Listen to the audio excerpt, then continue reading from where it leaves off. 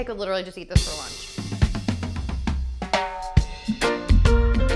Hey guys, so today I have another healthy food haul. I wanted to share with you some of my favorite summer finds. Some of these might be new to you, some might not, uh, but these are some of my favorite foods to eat in the summer and most of them are new, at least to me. The first one is by Yasso uh, frozen Greek yogurt bars. So if you love ice cream like me, these are an awesome alternative to ice cream that are portion controlled. And they have a ton of different flavors, but I'm a sucker for cookie dough and I'm gonna show you guys. It has a ton of cookie dough in it and there's five grams of protein. They're only 100 calories and they're delicious. This next one is in fact new. It is by Sabra and it is Veggie Fusions Guacamole and Veggies. Now, what I like about this is that it has 30% less fat than regular guacamole, but that's not because they did anything weird to it. That's because they just added some low calorie vegetables to the mix. And the best part is that you can't even taste the vegetables. It's delicious. This is the mango lime. They do have other flavors but it's delicious. It's only 40 calories for two tablespoons and uh, you can eat it with some chips or you can eat it with some vegetables. Here I have um, some way better snacks, the sweet potato corn tortilla chips that are made with uh, sprouted grains and it's delicious, it's chunky.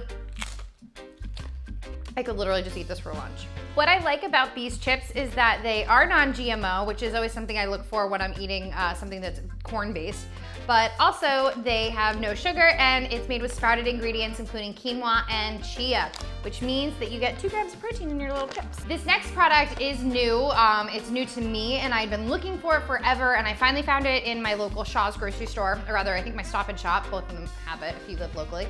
Um, and they're Ezekiel sprouted uh, golden flax waffles, or rather Ezekiel waffles. I love Ezekiel bread and English muffins, and I couldn't wait to try these. One waffle has 120 uh, calories and five grams of protein, four and a half grams of fiber. Uh, but more importantly, they're delicious and they're quick and easy. Uh, I like to add a little bit of blueberries for a little bit of sweetness, and I'll even add a little bit of peanut butter as well instead of just doing maple syrup, but obviously you can do maple syrup but um, they're vegan. And the reason why I like sprouted grains is that they're easier for your stomach to digest. Next is another new product. Um, if you read my blog though, you probably are aware of them. I did a blog post on them in the fall, and now that it's summer, I'm obsessed. Uh, so they are um, these incredible, perfectly free, non-dairy frozen bites. Each one has 30 calories and they're free from all the, um, the big allergens, soy, dairy, gluten, um, peanut, egg, fish, wheat, tree nuts. So this is what they look like. They're these like little balls and the outside of this one is salted caramel, which is my favorite, and the inside is vanilla. They come in four flavors. As you can see, if you can't do dairy, these are an awesome alternative. Um, they're a frozen treat.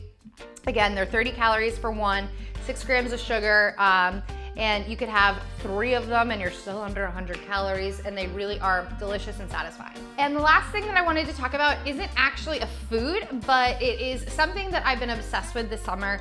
Um, I got it when I was at a press event, Vital Proteins gave it as a gift. Um, and it is the S'well water bottle. So I don't work with S'well, I've never worked with S'well, but I just discovered these water bottles that keep water cold and hot even when they're lying out in the sun for hours.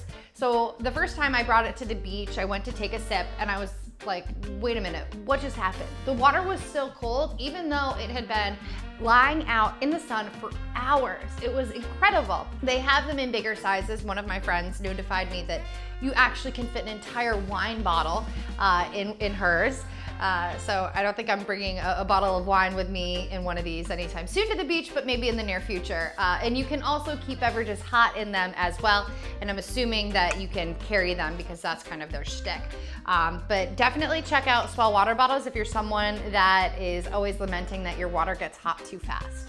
So hopefully you enjoyed this summer haul video. All of these were new to me and I'm assuming they're probably new to most of you as well. Links are down below in the description where you can find them and also you can check out my blog for more details. Uh, the link to that is in the description as well.